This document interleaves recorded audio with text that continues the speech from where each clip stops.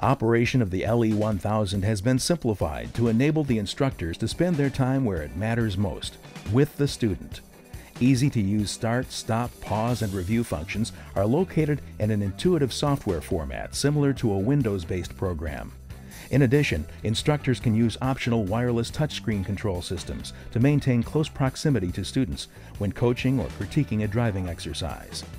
Instructors can select from an extensive suite of available driver training scenarios, either at the main desktop station or from a touchscreen device, such as an iPhone or iPad. The instructor also has full control of the simulation and student critiquing tools. Based on the instructor's training objective, student driving in the virtual world can take place at night, in rain, snow, or fog, or with loose traction.